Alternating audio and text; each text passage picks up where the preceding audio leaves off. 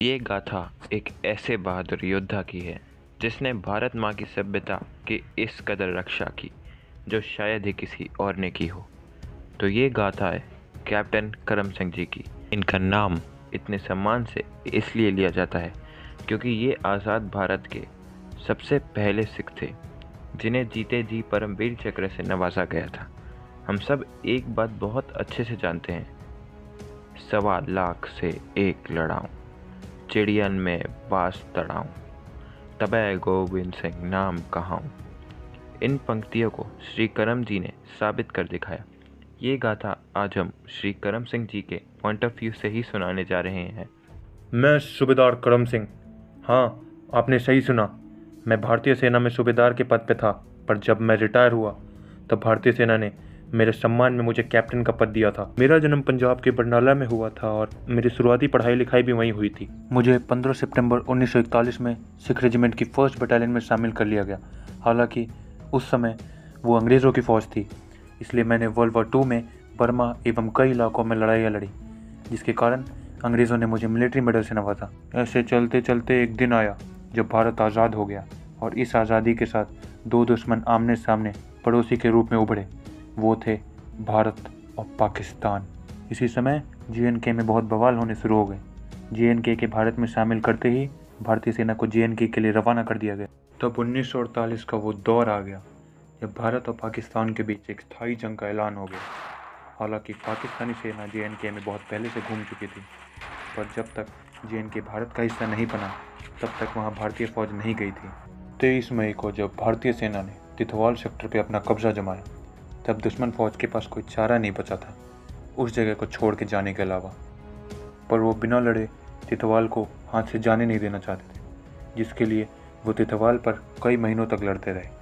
उनका मकसद यही था कि तितवाल पे कब्जा करके भारतीय सेना को एक झटका दे सके, क्योंकि जे के बाकी हिस्सों से भारतीय सेना ने पाक फौज को ऑलरेडी खदेड़ दिया था। अपने मकसद को कायम करने के लिए उन्होंने अपनी पूरी ब्रिगेड तैयार की और उनके सहारे के लिए आर्टिलरी को भी तैनात कर दिया, ताकि वो हमारी फ़ौज को घेर सके। तेरह अक्टूबर को पाकिस्तानी फ़ौज ने अपनी ब्रिगेड से हमारे कई पोस्टों पर हमला कर दिया, ताकि वो लोग हमें हमारी पोस्टों से खिसका सकें। इसके कारण रिचमार गली में काफ़ी धुआंधार गोला बारूद एवं गोलियाँ चली। मैं उस समय लैंड के पद पे था और एक फॉरवर्ड पोस्ट पे कमान कर रहा था। पाकिस्तानी फ़ौज के जवानों की तादाद हमसे कई गुना ज़्यादा थी, पर वो कहते हैं ना, सवा लाख से एक लड़ाऊँ। चिड़ियन मैं बाँस तड़ाऊँ, तब एक गोविंद सिंह नाम कहाऊँ। मैंने तुरंत नारा लगाया।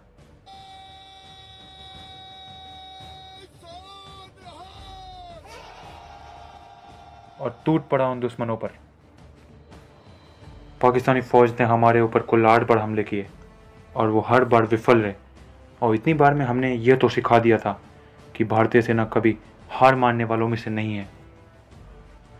हर हमले में हमने जमकर लड़ाई की और मैं अलग अलग बंकरों में जाकर अपने जवानों को प्रोत्साहित करता रहा और लड़ता रहा। उसी दौरान एक समस्या खड़ी हो गई। हमारी प्लेटून का एमिनेशन ख़त्म हो गया, पर मैं इससे हार नहीं मानने वाला था। मैंने तुरंत अपनी मेन कंपनी में जाके शामिल हो गया और फिर लड़ने के लिए तुरंत तैयार हो गया। पाकिस्तानी फ़ौज बहुत भारी मात्रा में फायर किए जा रही थी, जिसमें हमारे लिए बहुत मुश्किल स्थिति थी। पर मैं जानता था कि अगर मैंने ये पोस्ट किसी भी हालत में छोड़ी तो पाकिस्तानी फ़ौज भारतीय सेना की एक और दरार बना देगी। इसलिए मैं जगह जगह जाकर अपने जवानों को प्रोत्साहित कर रहा था और मैंने उन्हें दुश्मनों का सीधा मुकाबला करने को कहा। मैंने अपने आप को और मेरे साथियों को ग्रेनेड से लड़ने के लिए तैयार किया और टूट पड़ा उन पर। हालाँकि मैं अब काफ़ी जख्मी था, पर जब उन्होंने पांचवी बार हमला किया तो मैंने देखा कि दो दुश्मन मेरे सामने आके खड़े हैं। सो मैंने अपना बेनेट निकाला और घोप दिया उन दोनों के अंदर, जिससे उनकी मौके पर ही मृत्यु हो गई। इस कारनामे से मेरे जवानों का हौसला उमड़ पड़ा। वो टूट पड़े दुश्मनों के ऊपर, और इसके कारण दुश्मन काफ़ी कमज़ोर हो गया। हम तेरह अक्टूबर की रात तक लड़े, और इसमें हमारे पंद्रह जवान और दुश्मन के तीन सौ जवान वीर गति को प्राप्त हुए। और इस युद्ध के साथ सिख रेजिमेंट का शौर्य अमर रहा। जय हिंद। कैप्टन करम सिंह जी को इस बहादुरी और देश के प्रति जज्बे के लिए। उन्हें उस समय के राष्ट्रपति श्री राजेंद्र प्रसाद द्वारा परमवीर चक्र से सम्मानित किया गया। और वो पहले ऐसे भारतीय सैनिक थे, जिन्हें भारतीय सरकार और ब्रिटिश सरकार दोनों द्वारा गैलेंट्री मेडल से सम्मानित थे। कैप्टन करम सिंह जी सेना से रिटायर होने के बाद उन्हें कैप्टन का पद दिया गया।